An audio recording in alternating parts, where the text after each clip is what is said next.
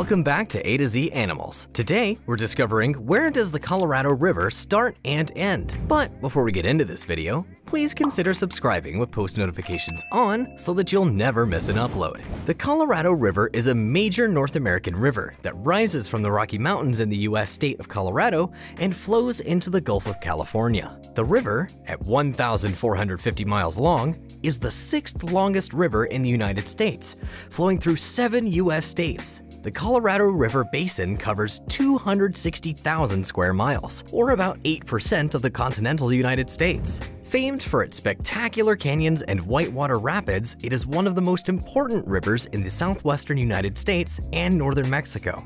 This long river drains a huge desert watershed that spans seven US states and two Mexican states. The Colorado River also serves as an important landmark, forming the international border between the United States and Mexico for 17 miles. With all this knowledge about the famed river, we couldn't help but ask, where does the Colorado River start and end? Below, we will show you the starting and end point of the American River and other fascinating facts.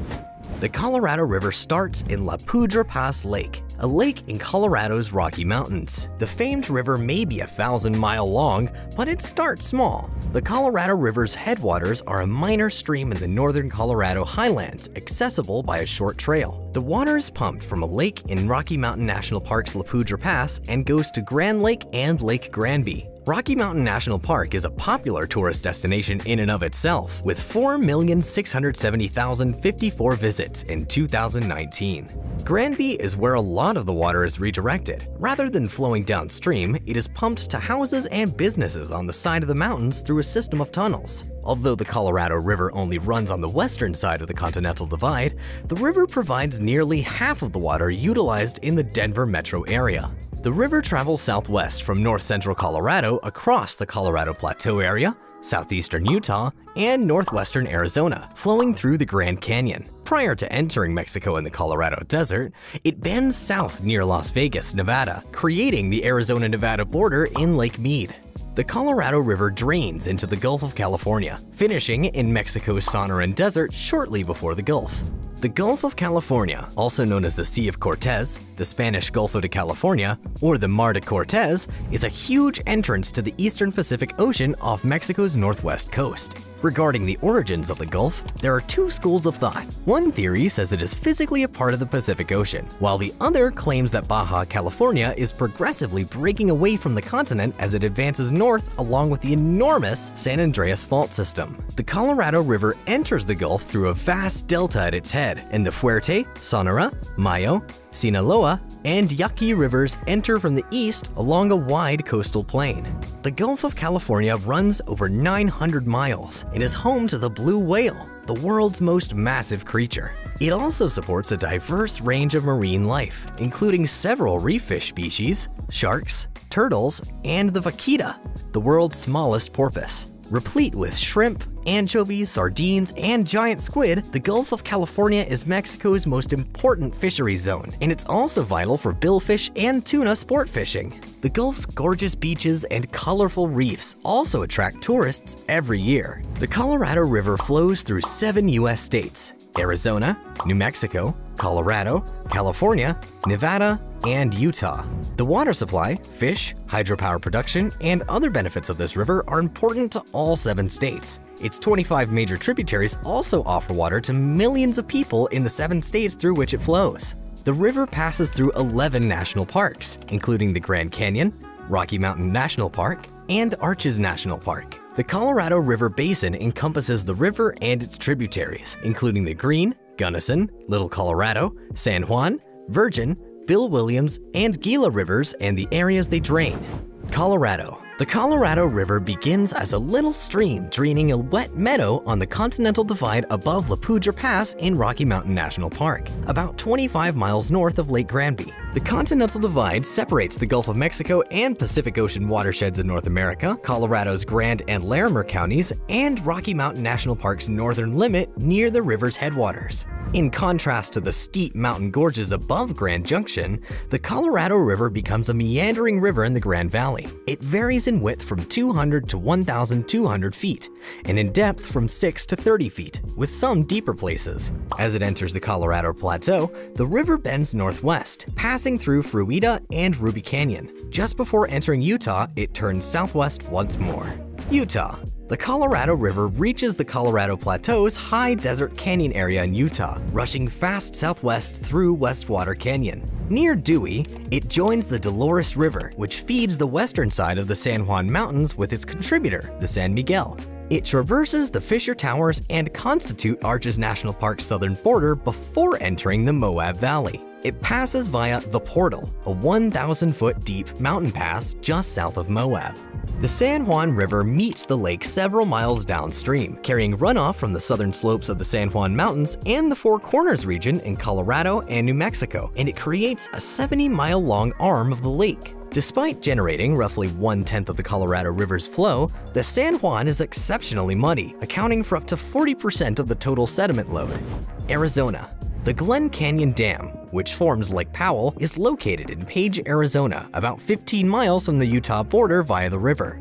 The Colorado River is held back by the 710-foot dam, mainly used for hydroelectric power generation. The Glen Canyon Bridge, located in front of the dam, spans the Colorado River and carries US Route 89. The Colorado River travels through Glen Canyon's final 16 miles, crossing the picturesque Horseshoe Bend, before surfacing abruptly from its canyons at Lee's Ferry. Further downstream, it passes through the Uinkaret volcanic area, where massive lava dams were built millions of years ago by basalt eruptions. The Colorado River then curves steeply south before turning northwest of Peach Springs, exiting from the Grand Canyon, where it swells into Lake Mead's upper reaches. This location also marks the general border between the Colorado Plateau and the Mojave Desert. It begins to create the border between Nevada to the north and west and Arizona to the south and east shortly west of that point. Nevada. With a full capacity of 28,945,000 acre-feet, Lake Mead is the largest reservoir in the United States, built by the 726-foot-high Hoover Dam southeast of Las Vegas, Nevada. However, the lake has not been filled in many years due to a mixture of drought and excessive water use by Colorado River Basin states. The Colorado River turns due south via Black Canyon of Hoover Dam and will continue in this direction until it reaches the Gulf of California. It runs beneath the Mike O'Callaghan Pat Tillman Memorial Bridge, the world's highest concrete arch bridge, which carries US Route 93 900 feet above the Colorado River. The Colorado River expands near the mouth of Black Canyon into Lake Mojave, which was formed by the Davis Dam in Pyramid Canyon above Laughlin, Nevada. The river then travels across Arizona, passing through Bullhead City and Fort Mojave, as well as the Fort Mojave Reservation. California. For the majority of its journey through the lower Colorado River Valley, the Colorado River serves as a border between California to the west and Arizona to the east. Here, the Colorado River has a width of 700 to 2,500 feet and a depth of 8 to 100 feet. It gradually loses volume because of evaporation and enormous outflows for irrigation, urban areas, industry, and thermoelectric power generation. The Colorado River stretches over 1,450 miles. For comparison, that is slightly longer than the distance between Chicago and Miami. The distance between Chicago and Miami is 1,384 miles, and the Key Largo and the Keys is 1,443 miles away, roughly the same distance. The Colorado River is estimated to be roughly 20 feet deep on average, yet holes are as deep as 90 feet beneath the surface. Other sections of the river are only 6 feet deep with rapids and calm water. They can record elevation points in the riverbed using various current technologies such as aerial photography and multi-beam sonar sensors dropped into the water. The Colorado River provides drinking water to over 36 million people, irrigates over 4 million acres of farmland, supports a $26 billion water-based recreation economy, and sustains 30 endemic fish species and critical river habitat for the millions of birds using the Pacific Flyway. Did you find this interesting? Leave that in the comments below. Subscribe for more animal content like this.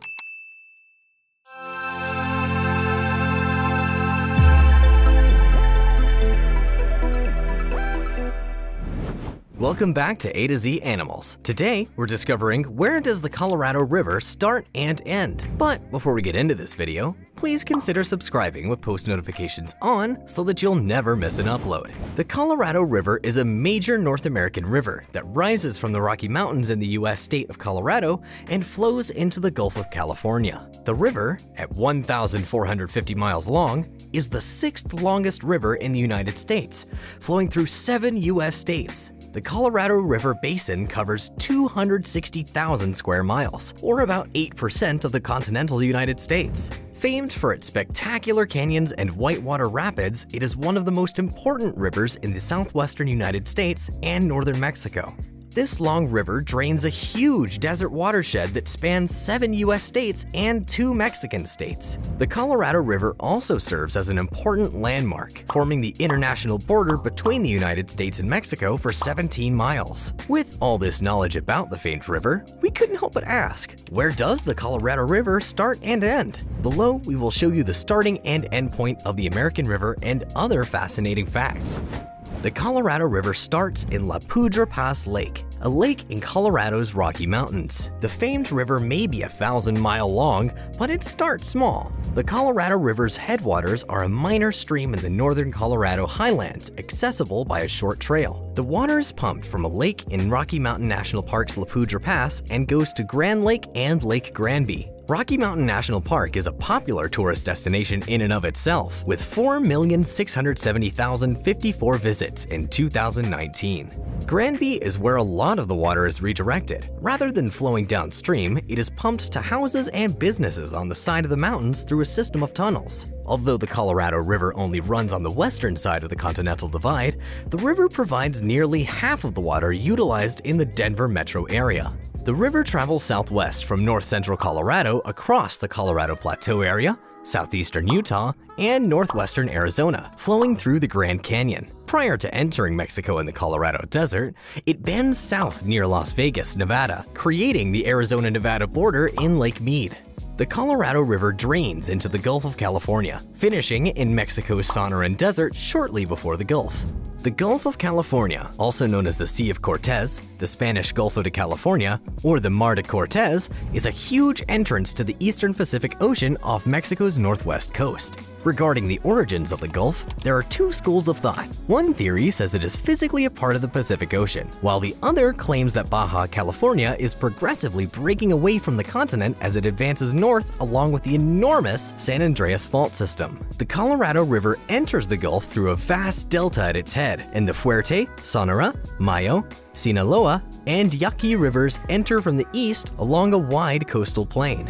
The Gulf of California runs over 900 miles and is home to the blue whale, the world's most massive creature. It also supports a diverse range of marine life, including several reef fish species, sharks, turtles, and the vaquita, the world's smallest porpoise. Replete with shrimp, anchovies, sardines, and giant squid, the Gulf of California is Mexico's most important fishery zone, and it's also vital for billfish and tuna sport fishing. The Gulf's gorgeous beaches and colorful reefs also attract tourists every year. The Colorado River flows through seven U.S. states, Arizona, New Mexico, Colorado, California, Nevada, and Utah. The water supply, fish, hydropower production, and other benefits of this river are important to all seven states. Its 25 major tributaries also offer water to millions of people in the seven states through which it flows. The river passes through 11 national parks, including the Grand Canyon, Rocky Mountain National Park, and Arches National Park. The Colorado River Basin encompasses the river and its tributaries, including the Green, Gunnison, Little Colorado, San Juan, Virgin, Bill Williams, and Gila rivers and the areas they drain. Colorado. The Colorado River begins as a little stream draining a wet meadow on the Continental Divide above La Poudre Pass in Rocky Mountain National Park, about 25 miles north of Lake Granby. The Continental Divide separates the Gulf of Mexico and Pacific Ocean watersheds in North America, Colorado's Grand and Larimer counties, and Rocky Mountain National Park's northern limit near the river's headwaters. In contrast to the steep mountain gorges above Grand Junction, the Colorado River becomes a meandering river in the Grand Valley. It varies in width from 200 to 1,200 feet, and in depth from 6 to 30 feet, with some deeper places. As it enters the Colorado Plateau, the river bends northwest, passing through Fruita and Ruby Canyon. Just before entering Utah, it turns southwest once more. Utah the Colorado River reaches the Colorado Plateau's high desert canyon area in Utah, rushing fast southwest through Westwater Canyon. Near Dewey, it joins the Dolores River, which feeds the western side of the San Juan Mountains with its contributor, the San Miguel. It traverses the Fisher Towers and Constitute Arches National Park's southern border before entering the Moab Valley. It passes via The Portal, a 1,000-foot deep mountain pass just south of Moab. The San Juan River meets the lake several miles downstream, carrying runoff from the southern slopes of the San Juan Mountains and the Four Corners region in Colorado and New Mexico, and it creates a 70-mile-long arm of the lake. Despite generating roughly one-tenth of the Colorado River's flow, the San Juan is exceptionally muddy, accounting for up to 40% of the total sediment load. Arizona. The Glen Canyon Dam, which forms Lake Powell, is located in Page, Arizona, about 15 miles from the Utah border via the river. The Colorado River is held back by the 710-foot dam, mainly used for hydroelectric power generation. The Glen Canyon Bridge, located in front of the dam, spans the Colorado River and carries US Route 89. The Colorado River travels through Glen Canyon's final 16 miles, crossing the picturesque Horseshoe Bend, before surfacing abruptly from its canyons at Lee's Ferry. Further downstream, it passes through the Uinkaret volcanic area, where massive lava dams were built millions of years ago by basalt eruptions. The Colorado River then curves steeply south before turning northwest of Peach Springs, exiting from the Grand Canyon, where it swells into Lake Mead's upper reaches. This location also marks the general border between the Colorado Plateau and the Mojave Desert. It begins to create the border between Nevada to the north and west and Arizona to the south and east shortly west of that point. Nevada.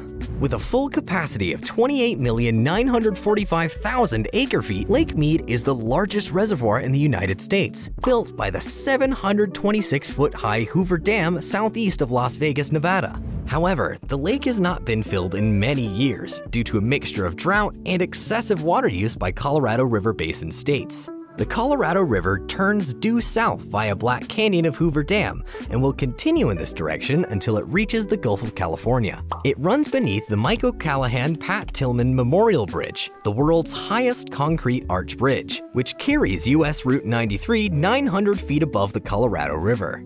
The Colorado River expands near the mouth of Black Canyon into Lake Mojave, which was formed by the Davis Dam in Pyramid Canyon above Laughlin, Nevada. The river then travels across Arizona, passing through Bullhead City and Fort Mojave, as well as the Fort Mojave Reservation. California.